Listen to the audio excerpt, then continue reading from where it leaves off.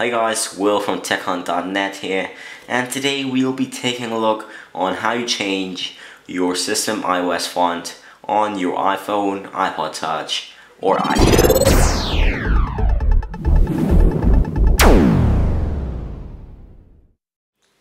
If you're in the same situation like me, the iOS font does get kind of boring. It, you know, just, you know, it just gets boring over the time you use it. I've used the iOS default font for over a year now and it just, you know, gets really, really boring. I'm fed up with it. So I found a way on how you change your font.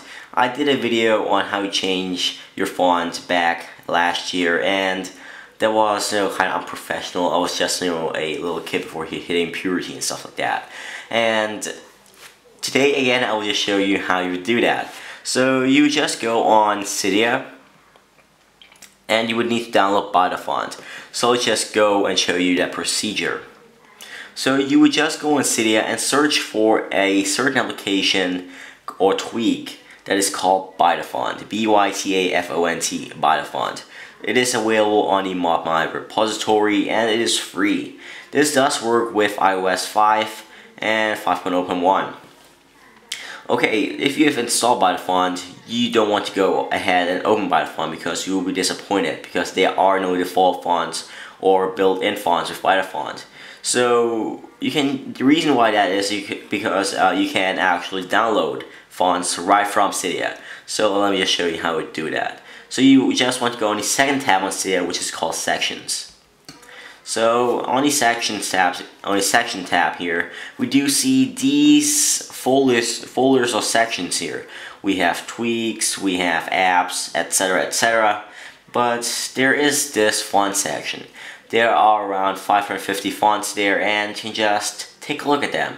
And there are like so many fonts. They're like A to Z and so many fonts. Uh, you can just, uh, let me just download this font, TF2 font. I guess that's Transformers. You tap on install, confirm, and it will just start downloading. Alright, so if you have finished downloading your font, you want to go back on font, and you would have all your fonts downloaded on the basic tab here.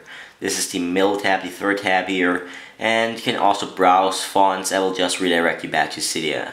And, and you can change your uh, advanced settings like your note setting, your, your notes font, your system fonts, your lock screen clock font, blah blah blah. And let me just activate the font I just downloaded, the TF2 font. And if you want to, if you want to change a font, Bytafont will ask you to respring. We'll do that, of course. And there will be some errors of course but we'll just continue.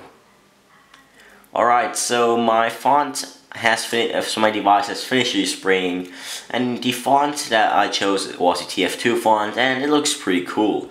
Uh, it is pretty different from the uh, default font from, of iOS and there are like so many fonts right now and as you can see the note uh, yes the note uh, no, the notes didn't change here but uh, some of the other system fonts did change. And that's really, really cool. And as you can see here on Spotlight, the uh, results did change, the font results did change, and that's pretty cool actually. Again, you can find this font font changing program Bytafont on Cydia again on the ModMy repository for free, definitely free, and it's compatible with iOS 5 and all iPhones, iPods, and iPads. So thank you guys for watching this video. If you have any problems or if you do encounter problems, just tell me. I will just do my best to help you guys. Thanks for watching. Please subscribe for more Cydia Tweak reviews or tutorials and I'll just see you later. Peace.